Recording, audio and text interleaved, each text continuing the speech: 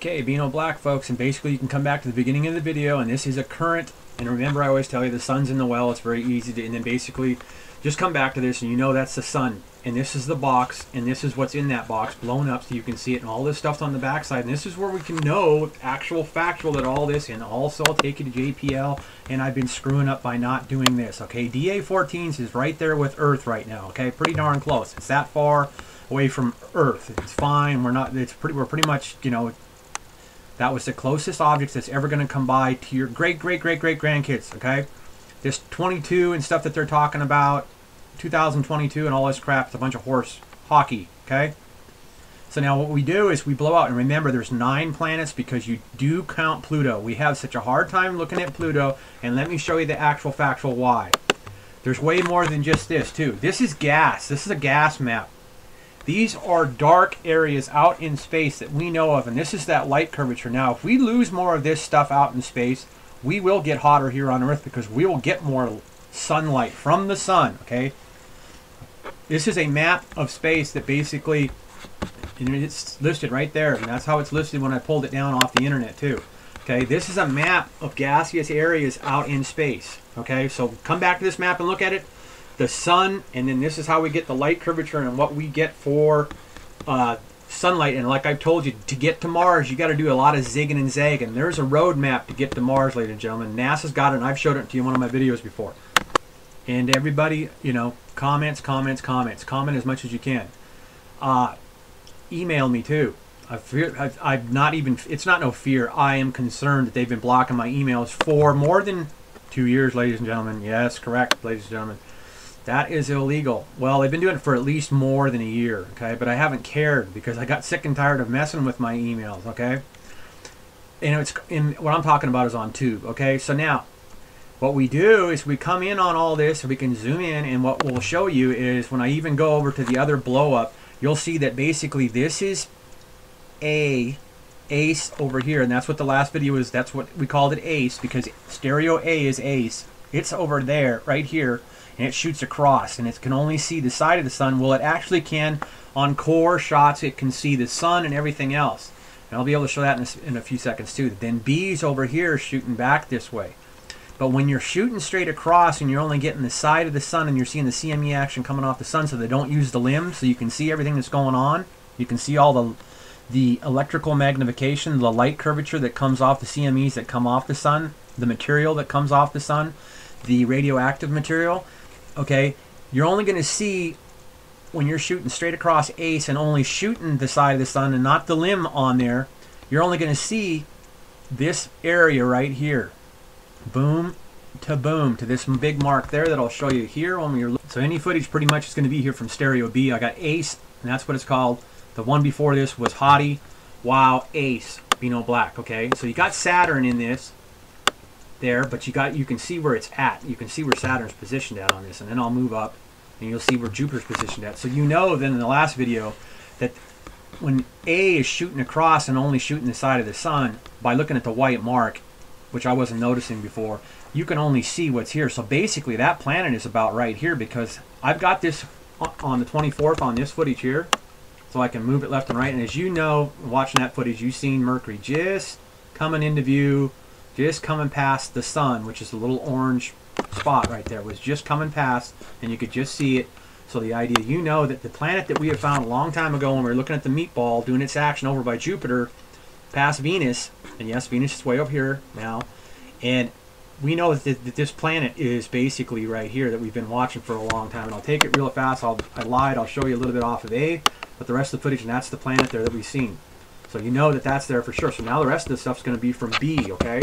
So when we're looking over at stereo B, and I've got us to there real fast, lucky because it takes time to cue this stuff up. When we're over at B, this is what we're getting, okay? And when you see the magnetical just a little bit coming down off now, we've had CME action, we've seen the two planets that we've seen before, and we'll go back in date and time a little bit on this. But for right now, we'll just show you that we're shooting from over at B behind, okay? and that planet is there. Okay, and that's what I was blowing up to, showing you the magnetical there on it. And we'll pop over again real fast. And there you can see a little bit of the magnetical hanging and dangling down. Okay, so there's another planet, but no matter what, you got to realize that we're looking from B across here. Okay, looking this way, and then I can go to JPL real fast since I was knowing how to use this zoom now. And we're looking out, and you get we'll get an idea of you can see where we're shooting from B over here to the right on the right hand side of okay it would be our left hand side when you're sitting on Earth looking at the sun. It's your left hand side over here. Okay, so you know that when B is shooting across, we can zoom out and you can see that when we're looking across this way, okay, that that planet that's up behind, and then we got to zoom in so that you can see where Mercury's at in Earth. And I grabbed the wrong zoomer, but let's zoom in. You will see the factual actual. You see, you got you got Mercury and Earth, and that's over here is where that's at. And we zoom out, and you can see that it's not Saturn, that you're seeing right over this area, okay, massive area, and there's nothing over there, okay? Because we bring everything in, Uranus, Pluto, and Neptune, and you go back to the very beginning of the video, I showed you the map, and it's that box map is perfect, folks. Just like this stuff is perfect, okay? There's no, there's no glitches here, okay? And absolutely, that is not Saturn that's up that you can see up behind Venus, behind Mercury, and Earth. I apologize about saying Venus. Venus is right there where you can see where it's at. And it's on the other side of the sun where you don't see it in the footage, okay? So now we're going to go pick up some of this B footage. And here we are at the B footage, and we'll go up a little bit, and you, I think you'll see a little bit more of the magnetical off this because we don't have as much electrical energy coming across.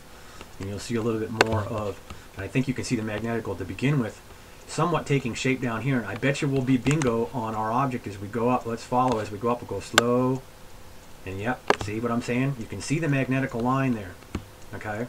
You see how I was able to find it by looking for a straight line lower in the dark area, see? And then it comes up right up to the planet. And we've got our two planets that are there, okay? Because more than likely this is not Jupiter there either, okay? And we've seen the magnetical on these planets before, and now I'll go down and uh, actually, and you can see some in CME action. And then remember that too. I got to go back here real fast to, I kind of lied a little bit because pop over here. You're going to see CME action when we look on the 23rd. And I don't have the 23rd here, so I'm going to queue up a date and go back and remember that the CME action is showing you. You see from the CME action of the sun, you know that this is in our solar system. Okay, just for showing you this, I don't even have to go back to the 23rd you know, and you've seen me showing you the CME action coming off of the sun, that this is within a 1 AU because basically it's pretty much in the same distance from that Earth is away that we've showed you. Go back and watch the last video. Wow. Ace. Hottie Wow Ace Beano Black, okay? So just going to the 23rd, we see the two planets. We don't even have to go back to the 22nd or whatever, but I will. For the hell of it, we'll just go to the 22nd, okay? As you can see, they're just that, one's just barely going out of view, and we were at the 24th before this, okay? Show you where we're at on the footage, and then we'll pop down, and I was able to show you the magnetical line. You were able to even almost see it at this resolution. You can see the magnetical going up there on that planet. Now, these are the two planets that you know that from looking at the alignment with alignment with Mercury, that when we go back to JPL, looking at the deal, and I pop in here real fast, not being queued up, but no matter what, as I use the zoomer, okay, and we zoom in and we zoom out, you can see that A is over here on this side because Earth's sitting there looking at the sun, and that's what you're going to see from looking at the side of the sun and not having the limb out, okay?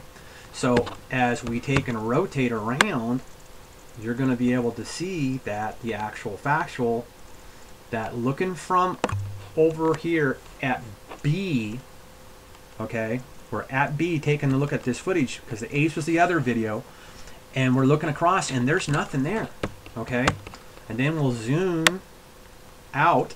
There's nothing back there. You see that? I'll pop Jupiter out but Jupiter's not going to be in the shot can't be in the shot from shooting over from that's right B okay? When B is shooting across and not having a limb it can't see it and there's nothing there okay? So and you're seeing as I zoom in you're seeing Mercury and Earth in this footage that we're showing you from B right and I zoom out and there's nothing there okay? There's nothing there folks. Go back to the map at the beginning of the video okay? But no matter what I'll hurl I hit B and there's B from the 23rd and you got both those planets right there okay? And they're directly across from Mercury okay? Pretty much in alignment. You can see Mercury's getting in alignment with those two planets right there okay? And like I showed you in the earlier zoom in here that I've showed you the magnetical line. Okay, here we go. And you can pretty much see it down here. You can see that. You see that magnetical line you can see as we move up? I'll go up slowly. But you can kind of see the magnetical line there. Yep, you can see it on that one. And that one also does a little bit of a flare back there. You can see it do a little bit of a flare. I'm going to blow up a little bit more on that. That's real good footage.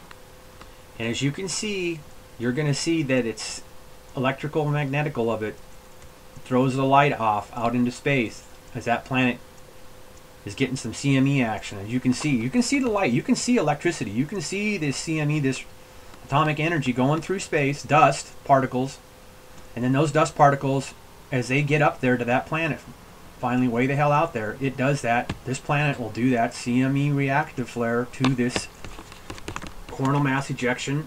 Uh, let me get it up.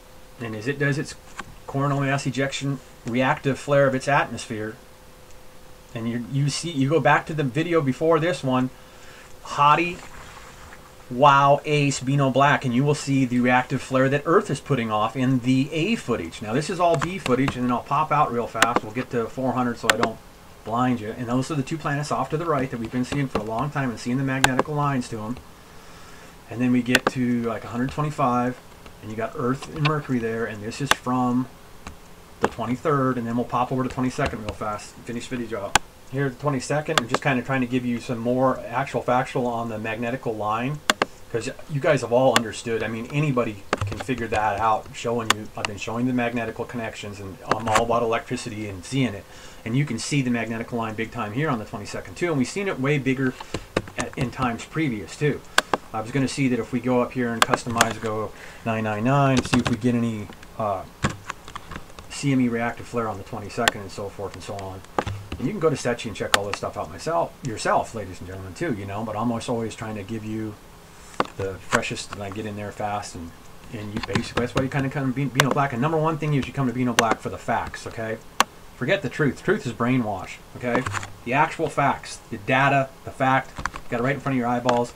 And I've showed you by zooming in and zooming out that if you count the planets, there's nine if you count Pluto, and then we found three more planets 10, 11, and 12. And I've been showing you that from showing the magnetic lines ever since anybody's been watching me watching the magnetic lines that were we found when we were looking at the comet because they had to turn around to look at this comets that were all of a sudden coming. Okay? And then I see if I can throw this in some of that comet footage that we've got. A guy down south has got some great uh, comet footage, so we're going to go show that. So this shows you actual factual. Remember, A and B, Mercury, and we look for having uh, Earth there in the Y, and then you know that basically over to the left here is B, and that's A. So you watch that white line, and you'll see what on the half shots what you can see. We found those planets.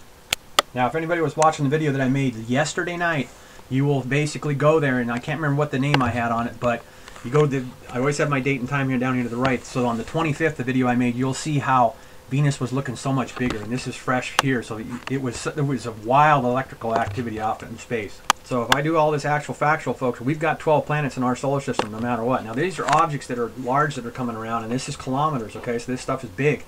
Okay, on the 25th yesterday we had this. This is going to be moving away. We'll get some quake activity out of that. Then we'll have a lull for a little while because this 23 meter one, maybe it'll give us some activity on March 18th. But you can damn well expect on the 3.8 kilometer coming around on the 20th, we're going to get some great earthquake action coming around. Two days before, two days after. And then I remember, if you watch my... And these guys are great artists and stuff like that. I can't say too much about the music because I'm not playing the music. And then basically this guy has got great scientific, and we're sharing the data here on the factual actual of these comets. And this is great footage, beautiful footage that he's got. And you're also going to see the atmosphere. And yes, you got shooting stars, ladies and gentlemen, electrical action, comets, asteroids, and then check out that auroral action. And this is down south, ladies and gentlemen. Okay. This is that. That is from our equator. Okay. You get heat from the equator because the idea that we're spinning, and yep, that is our roller bearing action there that you were seeing, that redness that you were seeing back there. I see how much I got for footage time and see if I can pop back in here. And let, in fact, Beano Black was nailing earthquakes two and a half years ago. I can get them right down to NASA. It's just like 25 minutes before they hit, just like NASA.